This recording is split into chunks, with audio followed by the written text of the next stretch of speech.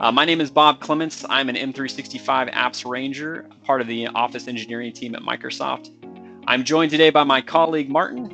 Martin, you want to introduce yourself?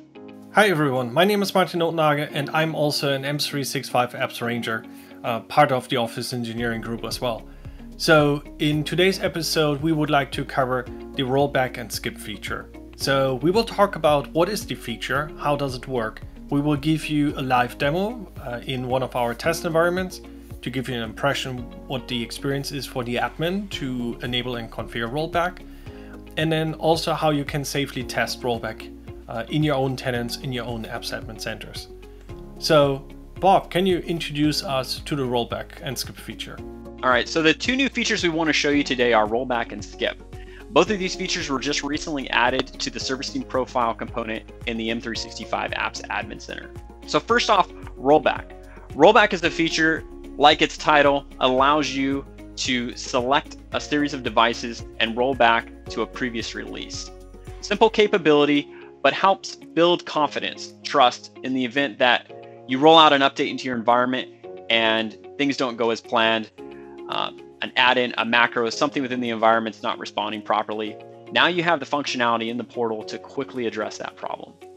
Skip is an additional feature built into rollback that ensures that when you roll back a device to a previous update, that device now is locked into that previous release until the next patch cycle is introduced, at which point those devices snap back to the regular update cadence and begin their normal update cycle.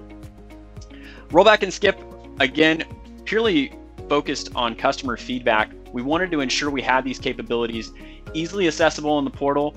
And again, really targeted at building confidence around monthly enterprise channel and ensuring that you can deploy quickly and agilely in your environment. So Martin, can you walk us through a demo of rollback and skip? So I'm now logged into my demo tenant. I'm on the servicing profile landing page. Uh, servicing profile is set up uh, in my environment.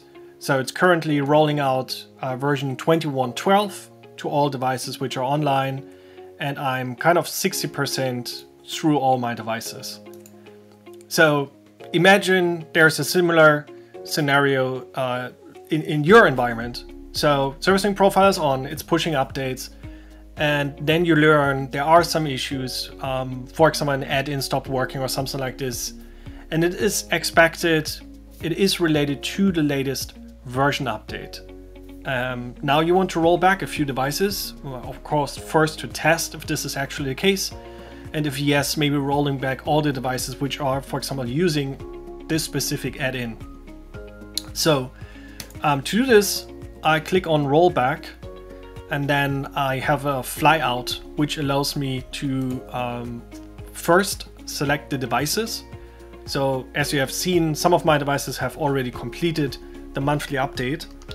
Uh, so I will type in the device name, pick one of the devices. It uh, highlights the version that this build is currently on. So this is on 2112.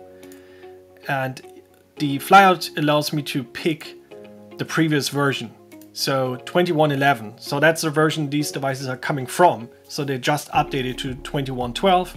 And now I can decide, um, do I want to go to the, the, the version from pre previous months? So the version they came from, or in for the monthly enterprise channel, we release each version two times. There's the initial release, and then the subsequent months, we release security features. So I can go to the previous version, 2111, but with the security updates from the current month. That's of course recommended. So you have still a secure build on the machine, um, just with the feature set from last month. And so hopefully um, this will resolve the issue. So select the version, select the machine, hit rollback, and now the cloud service is processing this information and the next time the device is online and pings the tenant, it will get the information that it should perform an update basically into the other direction. So going back from version 21.12 to 21.11 and we can see this in the in the UI. So the update status switched to rolling back because this machine is currently scheduled to do this. And I have one machine I previously rolled back. So this is uh, the status then rolled back. So I know this machine is uh, already, or I had performed the downgrade.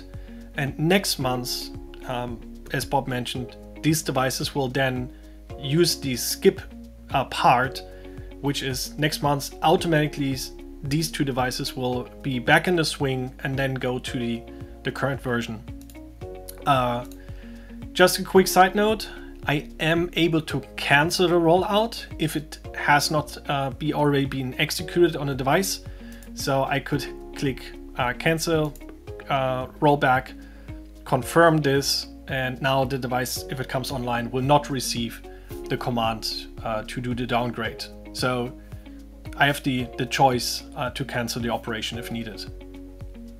Yeah, that's that's basically it. Um, there's not much more to see from an admin perspective. Uh, for the user, it appears uh, as a regular update. So the user experience is exactly the same. It's not an uninstall, reinstall. It is an update into the opposite direction. Yeah, thanks for that demo, Martin. And if you are looking to get started with rollback and skip in your environment, our recommendation is to use Azure AD Group Support. We'll have another video walking you through that scenario. Essentially, use a device-based group, target the specific devices you want to test with, and then you can start playing with rollback and skip in your environment. So we are super excited about these new features as well as new features to come. So if you want to keep tabs on how things are progressing with the Apps Admin Center and these capabilities, please be sure to hit the notification icon and subscribe to the channel and you'll get informed as we release these new capabilities. If you'd like to get in contact with us, feel free to comment below. We also have presence on the Microsoft Tech community where we post blogs and follow up on discussions with other IT admins around the world. As always, we will include descriptions to everything we talked about in this video and links to some additional resources down in the description. Until next time, keep on deploying.